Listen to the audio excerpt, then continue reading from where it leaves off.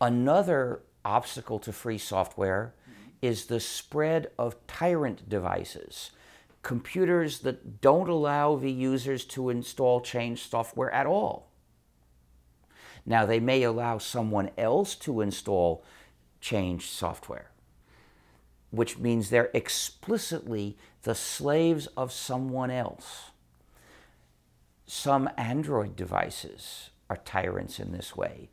Cars are starting to have computers in them that are slaves of someone else in this way. And uh, medical devices are like this.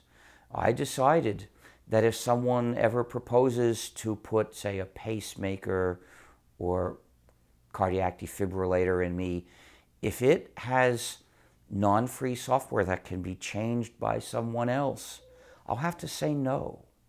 I won't allow it to be put in me. I'm not willing to live a longer life by selling out what I believe in and what I've stood for for my life.